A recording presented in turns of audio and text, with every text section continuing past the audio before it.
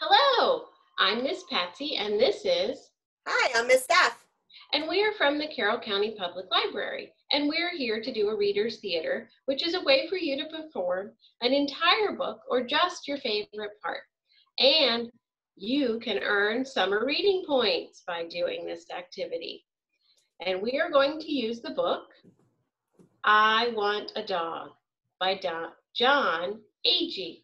Let's get started. Let me go get ready.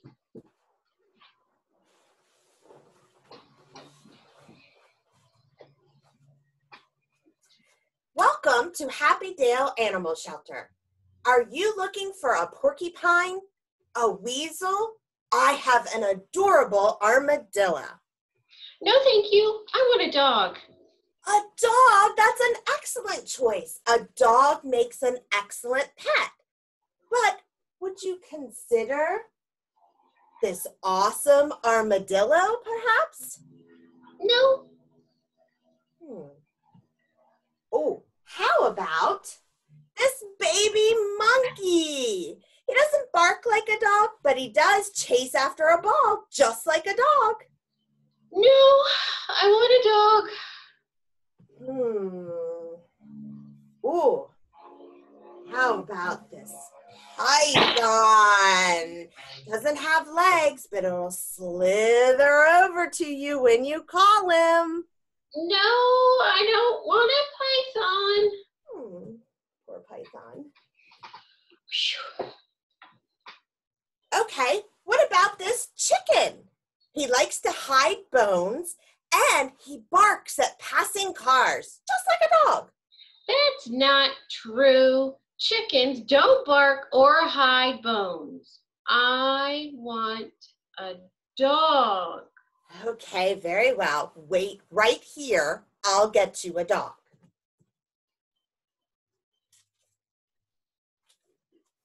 Okay, here's your dog. Miss, that yes. is not a dog. That's a lizard dressed up as a dog. But you could train it to go woof, woof, woof, woof, woof, just like a dog. I don't want to train a lizard to go woof, woof, woof, woof, woof, woof. I want a dog that goes woof, woof, woof, woof, woof, woof. Oh, how about this eagle? Or, or better yet, this goldfish. Hmm. How about this darling little pig? No, no, and no. Excuse me, miss. Do you even have a dog? Well, would you tell me what is so special about a dog? Sure, a dog is loyal, loving, cuddly, courageous, and most importantly, the very best friend you could ever have in the world? Actually, I have the perfect pet for you. Do you think she really has a dog for me?